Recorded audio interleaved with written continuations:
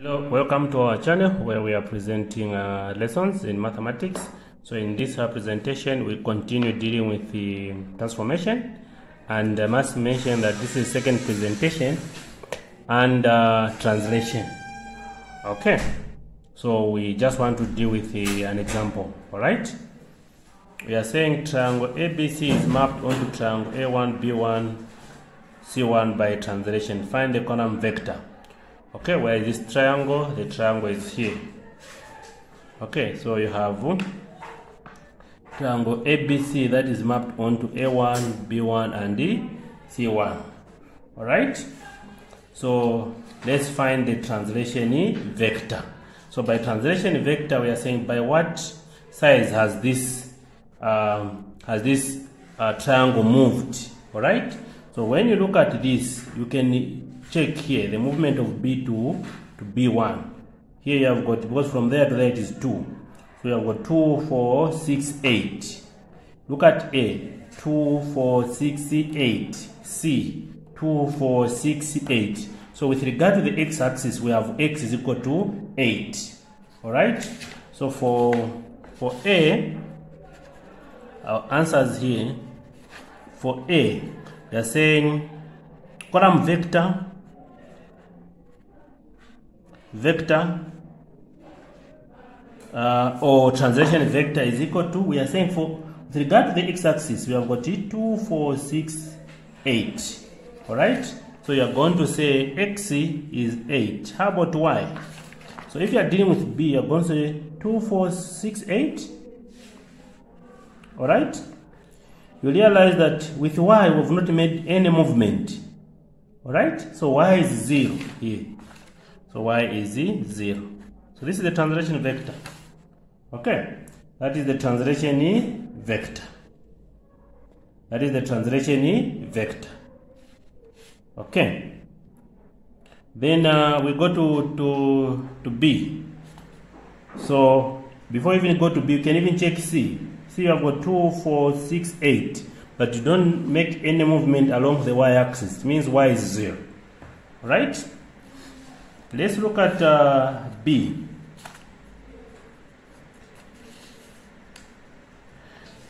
Describe fully the single transformation which maps triangle ABC, which maps this triangle onto triangle A1, B1, and C1. Okay? So, in an event that we are not even given the first question, in an event that this question was not given, this was the only question you needed to acknowledge the kind of transformation that will have taken place here. All right? So you are able to see that from this point to that point, this is the translation because uh, this object has moved from here onto a new position, but the dimensions are the same.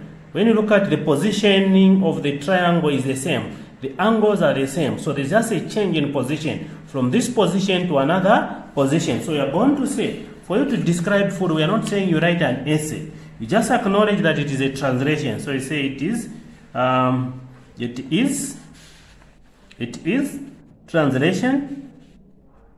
All right. Then give the translation vector. What is the translation vector? We've already found the translation vector to be. So we say translation vector or column vector is 8 uh, and 8 comma 0. All right. That one is done. Okay. So we are going to go to C. What is C? Triangle ABC is mapped onto triangle A2, B2, and C2. Describe the single transformation which maps triangle ABC onto triangle A2, B2, and C2. So let's look at triangle ABC and triangle A2, B2, and C2. So we have got this triangle onto this one. What kind of transformation has taken place here? All right, we're able to see that this this object has moved from here onto this one in a straight line. The dimensions are the same. It means this one is a translation. Alright, so you are going to say it is a translation. You are going to say it is a what? A translation. Alright? Translation. Two, you must give a translation vector. For you to describe food, you need to give a translation vector or column vector. So now, how do we do that? You are going to look at A and the A2. Now, have you made any movement along the x-axis for you to find A2? No, because you're in the same line. Alright? A and A2 are coinciding. So it means we have not made any movement along the x-axis. Hence x is 0. So we are going to have 0. How about, okay, let's say translation vector is equal to, we are saying x is 0. How about y? So you must move from here now, not until you meet A. Alright, you're going to say 2, 4, 6. Now, because you're going upwards, so it will be positive. So it will be positive 6. This is your translation vector. That is your translation vector. Alright? We go to D. What is D? So D. What is D? We're saying triangle ABC is mapped onto triangle A3, B3, C3 by translation. Find the translation vector. So we must look at A, BC, A2, I mean uh, A3, B3, and C3. Where are these triangles? Okay. Where are these triangles? Okay, there's another triangle here. Okay, so this triangle is mapped onto this triangle by a translation. Can we find the translation vector? Simple. You can just look at A, maybe, and its image, or C and its image. So C is here. So I must begin to move either to the left or to the right, not until I meet C. Alright? So you, if you start going to the, to the right hand side, you'll not find C. So you have to move to the left. So you're going to say 2, 4, 6, 8, 10. At this point, 10 steps to the left uh, I'll coincide with the C3. Alright? But because you're going to the, uh, to the, uh, to the left hand side, so the value of x will be negative.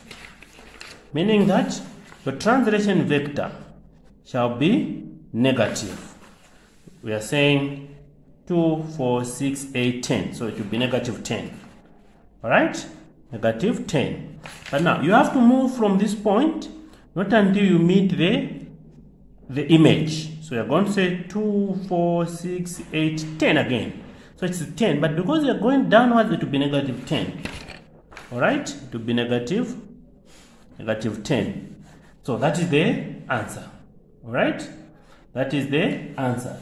Alternatively, you can say, um, you can say, image is equal to object plus translation vector. Alright? So I can pick one of the images here. Maybe C3. What is 3, 3? Uh, C3. Negative 8, comma, negative 4. So you're going to say negative 8, comma, negative 4. Okay? What is its object? We go to, to C here.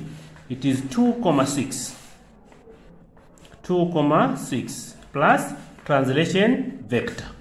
Alright? So now, how do you find the, this translation vector? Say negative 8, negative 4 minus 2, 6 is equal to translation, translation vector. So, what is the negative 8 minus 2? Negative 10. Alright? Negative 4 minus um, 6, negative 10. This is what we are going to have. And this is our translation vector. This is our translation vector. Okay? That is our translation vector. That's another way of getting it. Okay? That's another way of getting it. Okay? So that was the D.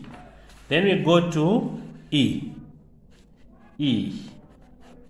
We are saying triangle PQR is mapped onto P1, Q1, R1 with the translation vector 1, negative 2. Can we draw and label this triangle? Okay. So, where is our triangle? This one, PQR. The translation vector 1, comma negative 2. Meaning that from each point you'll be making one step to the to the right, then two steps downwards. So for P, you're going to say, because from there up to there it is 2. So here one step means half of it. So you're going to say 1, 2, 3, 4, 5. This is where P1 is supposed to be, P1. Alright? Take note. it's one step, one step to the right and two steps downwards. So first, you're supposed to say here one, two, three, four, five. That is one step. Huh? Then two steps downwards. Check here, two steps downwards. So from here, I'm going to say two because half of it is one, so two is here. So this is where your P should be. So P1 here.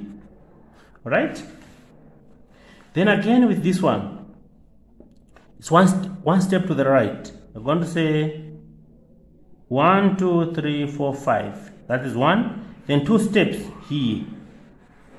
Uh, this is R1. Take note, it's R1.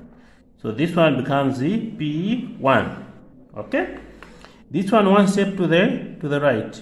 One, two, three, four, five. Well, that is where one is. The two steps downwards, it will take you here. So this is your Q1. Alright, then you join. Join with your ruler there.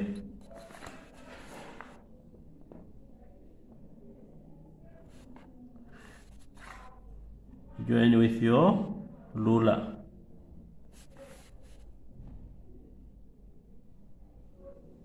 So that's where uh, that's supposed to be. Okay, alternatively, you can say image is equal to object plus translation vector. All right. So what is our image? is The one we want to want, want to find maybe for P1. What is P1? All right we say what is the object for P1? Negative 6, comma 8 plus. What is our translation vector? When you check here, our translation vector is 1, comma negative 2. 1, negative 2. Alright? So what is our P1? This is negative 5. Uh, and what? 6. Which is the same as negative 5, comma 6. When you plot here, so when you plot here, this is 4 and that is 5. Half of it, uh, this is 6. Half of it is 5, comma what? Comma 6. It will take you here. Alright? Negative 5, comma 6. It is negative 5 here, 6 is there. If you want for, for Q1, you're going to say Q1 is equal to, what is this object? What are the coordinates for Q? negative 4 comma 8 negative 4 comma 8 plus the translation vector is 1 over 1 and negative 2 so q1 is going to be here when you add you get negative 3 here when you add you get 6 so negative 3 comma 6 so you come here. This is negative 2 this is negative 4 negative 3 is here comma negative 6 that's where it's going to take you repeating that process you find that r will be at that point so that's how you get these things. So you need to know how to identify the translation and how to describe. Okay, so that's where we end for this presentation. Um, but uh, I'm going to give you an exercise. Okay? Okay, so you can copy that one. Okay, try. Then I'll give you another one. Okay, so even this one you can attempt. Thank you so much.